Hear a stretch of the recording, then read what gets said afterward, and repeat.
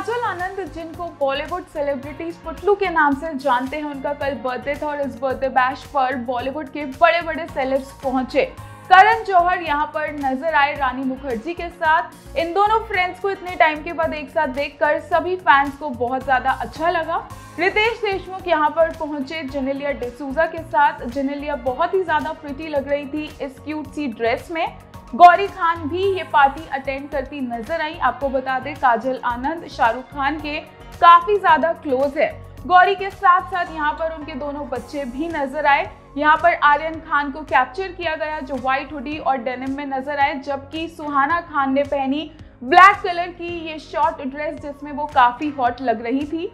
सुहाना खान के rumoured boyfriend यानी अगस्त्य नंदा यहाँ पर अपनी सिस्टर नव्या नवेली नंदा के साथ नज़र आए और इन दोनों के साथ पार्टी से बाहर आती दिखी नेहा धूपिया भी।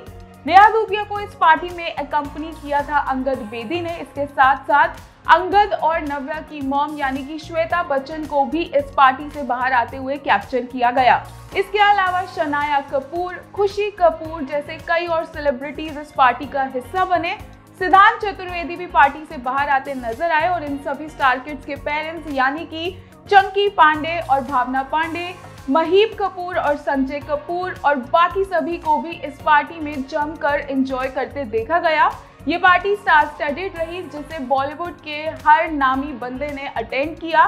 शमिता शेट्टी से लेकर मनीष मल्होत्रा तक सभी इस पार्टी में खूब धमाल करते नज़र आए।